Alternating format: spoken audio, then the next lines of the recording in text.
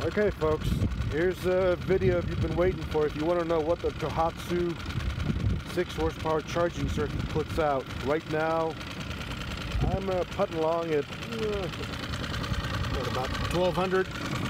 It's not putting out anything. Um, at least it's not registering anyway.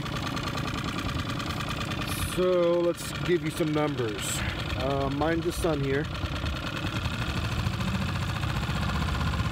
And if you don't hear me, I'll just keep panning between the meter and the RPM so you can see exactly how many RPMs it takes to put out. I can't get above 4200. That's just, that's where I max out on my prop. But let's take it up. So that's 2000 half amp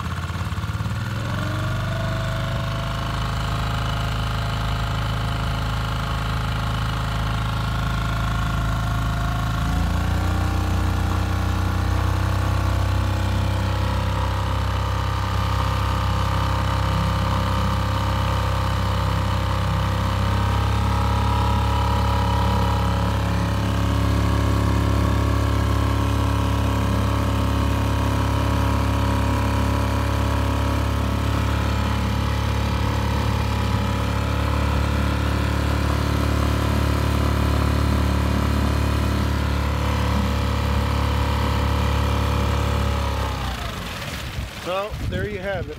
You're going to get about 2.5 amps at about 42, 43 RPM. Was it worth it for me? Eh, I don't know.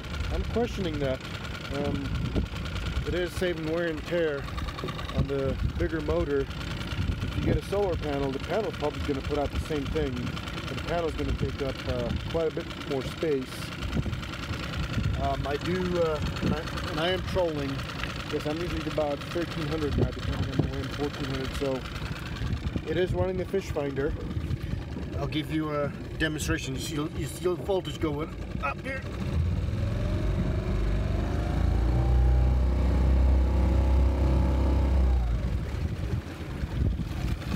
Now, also, uh, I've got a different circumstance.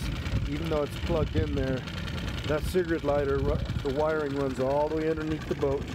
My uh, the battery that I'm using sits underneath the front cubby there, so I've got 20 feet of wire. So there's considerable battery uh, voltage drop.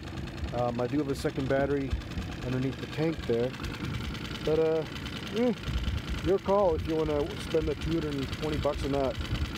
Um, because I do run it so much, I think it might be worth it for me, but I'll keep an eye on it.